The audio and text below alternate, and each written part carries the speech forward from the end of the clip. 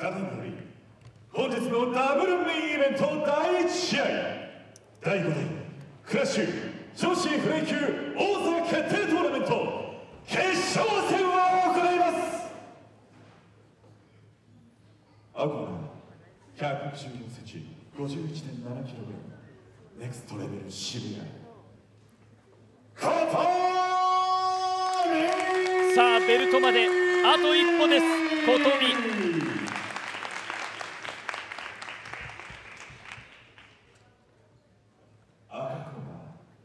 出席51.7キログ下心かチームサバリ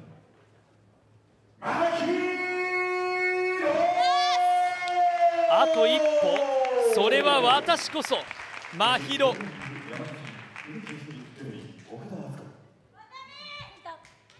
クラッシュ124ダブルメインイベント第1試合です。第5代クラッシュ女子フライ級王座決定トーナメントの決勝真宙対琴美です。両者視線全くそらしませんでした。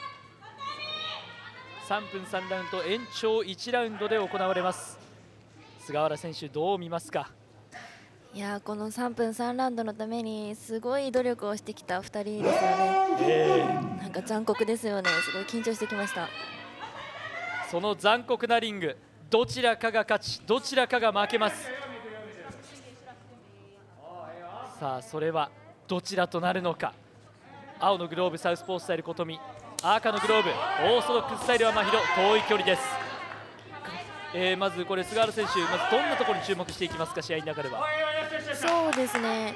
もっと前琴美選手前出てくるかなと思ったんですけどやっぱ前蹴りを警戒しているのか思ったよりは立ち上がり方がちょっと違いましたね。そうですか。真宙も前蹴りを得意としていますが菅原選手も前蹴り非常に得意としています。真宙の前蹴りどうですか？改めて。いやすごいキレがあっていいと思います。やっぱこう女子選手はこう気持ちが出るファイトスタイルが多いので前蹴りはすごい有効的なんですよね。なるほど。ですから相手がちょっとでも熱くなるような瞬間があったらそれはチャンスとなるわけですねそこが。そうなんですよ。しかも意外とこう相手の力が加わるので普通に蹴るよりも効くんですよね、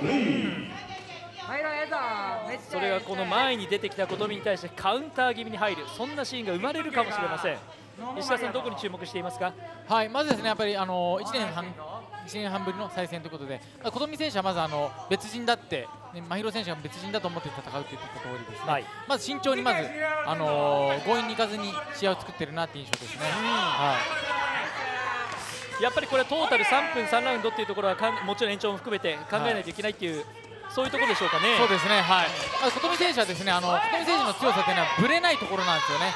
サウスポー特有の自分のポジション得意なポジショニングを徹底して熱くならずにそこで戦えるのが琴美選手なのでなるほどそこにちゃんと自分の距離がはまるまでまずは真宙選手をしっかりまずは1ラウンド目見ていこうかなっていうふうに思っているのかもしれないですね。まあその徹底というのをやり通したのがこのカナとの試合でもありました。そうでしたね。見事制していたのが琴美です。はい、さあお笑いコンビの狐の大津さん、はい、どうですか？女子同士の戦いってはどんな視点で見ますか？やっぱりですねあの記者会見の方見てたんですけどもそこでは結構ほのぼのとしてたんですけどこの試合になったとなんですね。この決起迫るような目。はい、相手も仕留めるぞという目がですねもうそこからですね体の鳥肌が立つような、えー、試合やっぱ見てて興奮が収まらないですね。そうですね、さあ遠い距離、真宙はこの遠い距離を選択しているのか前蹴りを狙いますが琴美はそこに入りません左のミドルは琴美です。菅原選手この両者の距離はどう見てますか？そうですね。やっぱ琴美選手のがリーチ身長ある分やっぱこの距離だとちょっと、まあ、分が悪いかなと思いますね真宙選手にとっては。ある程度思い切って入るタイミングっていうのはこれ必要ですかね？そうですね。でもまっすぐから入るとやっぱ直線的な攻撃上手なので、はい、もらっちゃうと思うので。右ストレート、はい、回ってみたりだとか蹴り終わりだとかそういうところ狙っていったらいいと思います。なるほど第1ラウンドが終了しています。真宙 VS 琴美。勝った方がこの第5代のクラス女子フライ級王者となります。真宙の方は準決勝で7にクラッシュ121で勝ちました。琴美の方は吉見を判定で下してのこの勝ち上がりです、まあ、その7を下したのがあの前蹴りです。真宙石石川さん、どのあたりがこうキーになってきそうですか、うんまず1ラウンド目、やはりあの琴美選手のプレッシャーが流れを作りましたね。で、まあ、井上選手はこれでね、もちろんあの止まるは止まることはないと思うので、この1ラウンド目、この今インターバルの間にどういうふうに2ラウンド目に立て直してくるかというところがキーポイントになってくると思います。前王者第4代のこのフライ級チャンピオンのカナ選手が今、リング下で見ている様子がありました。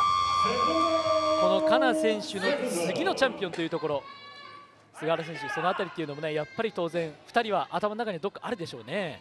いやあると思いますね、しかもかなちゃん、かなさんはすごい強い選手なので、はい。まあ、やっぱ比べるところもあるんじゃないかなと思いますね。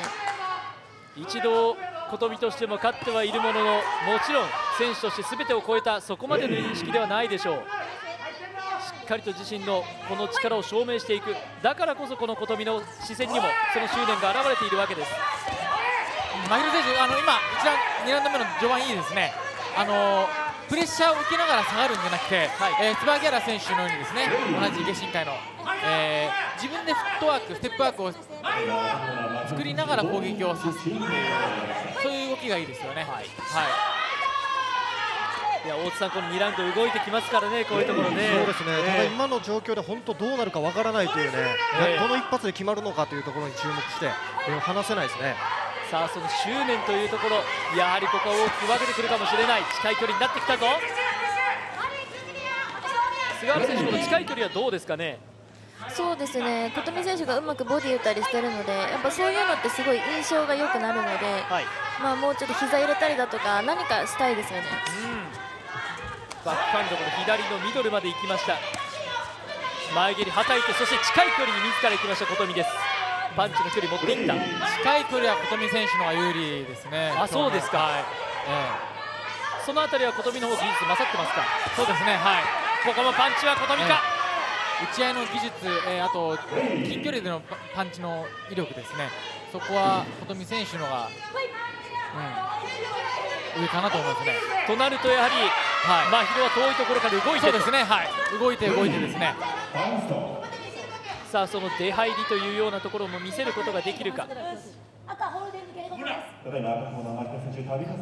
真宙のホールディングに対し早くもこれ警告が出されました。次このレフェリーから反則を取られますとイエローカード減点1となります。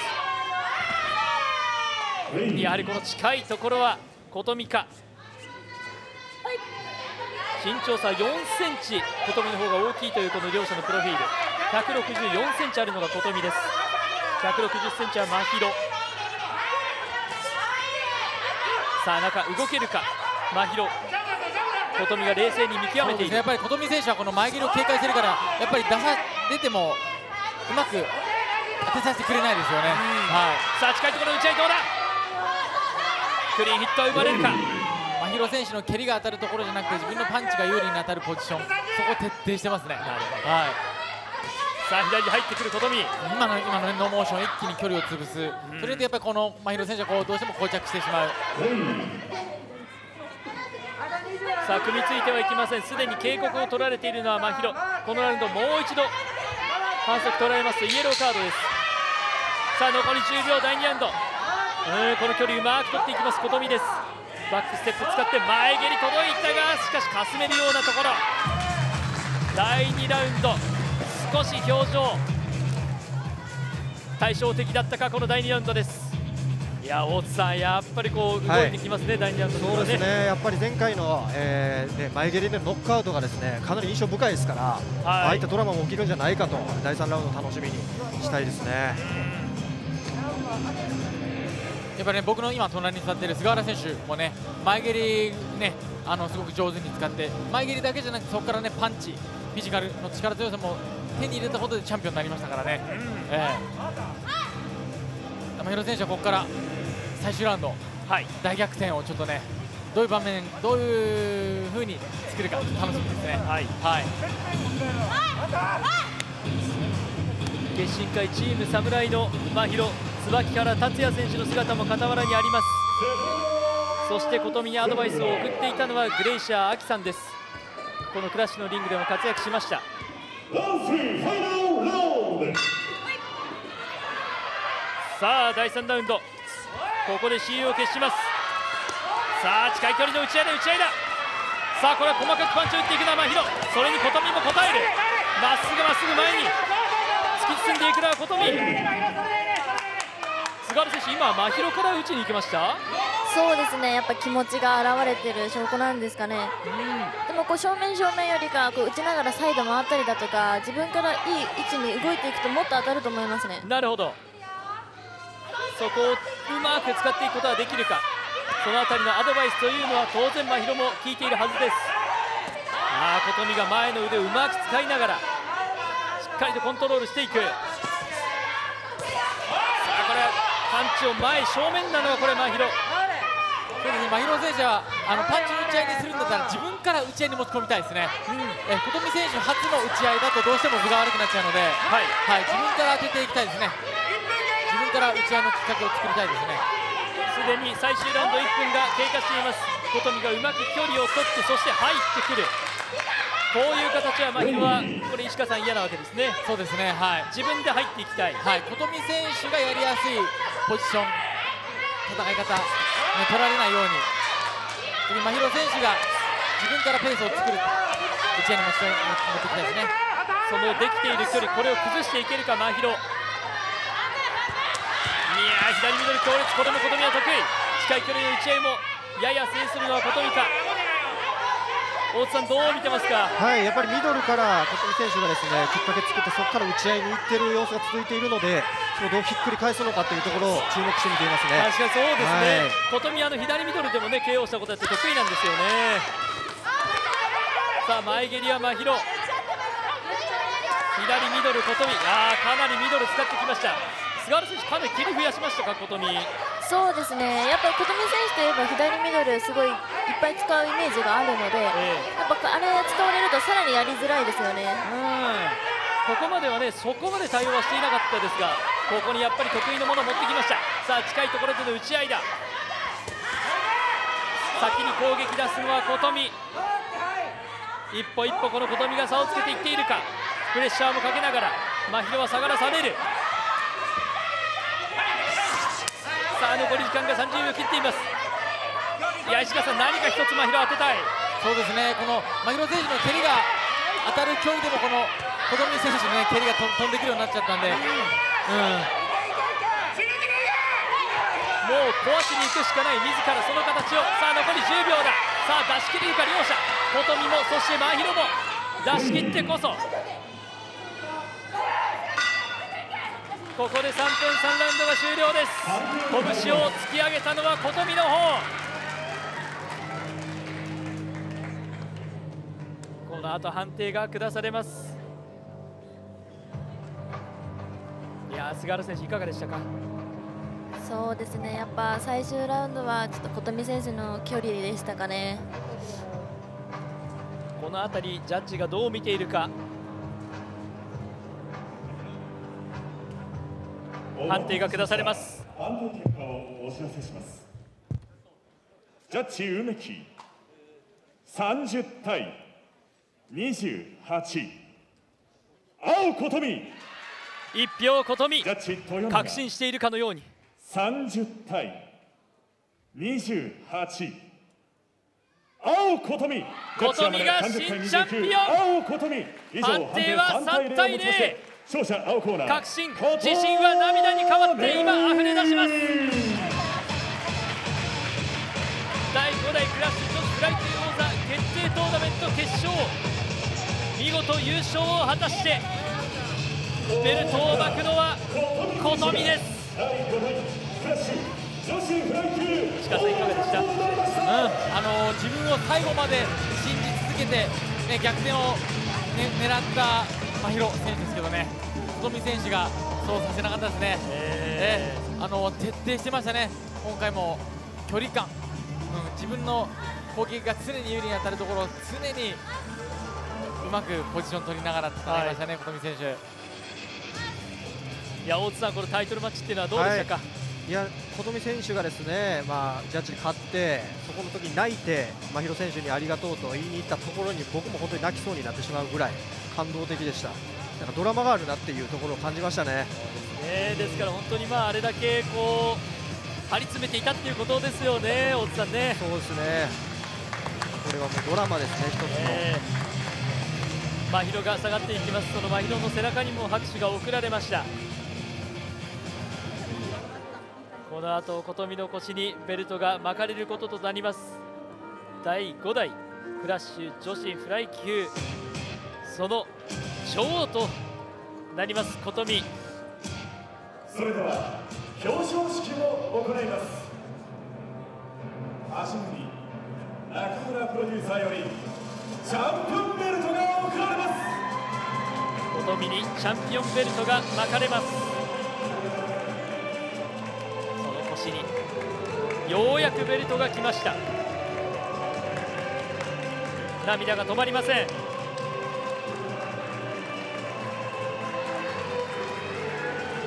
そして笑顔も琴美です。菅原選手いかがですか？いやー素敵ですね。こうなんかこうネクストレベルの選手たちはこうチームワークがすごい素敵ですよね。先輩方がとても嬉しそうでね、えーほっこりします。そうですね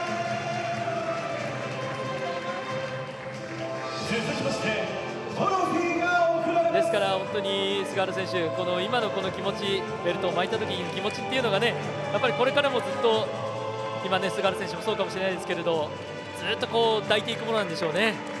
そうですね何かあるたびにやっぱ思い出して頑張る理由になったりとかしますよねそうですか。選手より一言いただきますこんにちは、ネクストレベル渋谷所属の琴美です。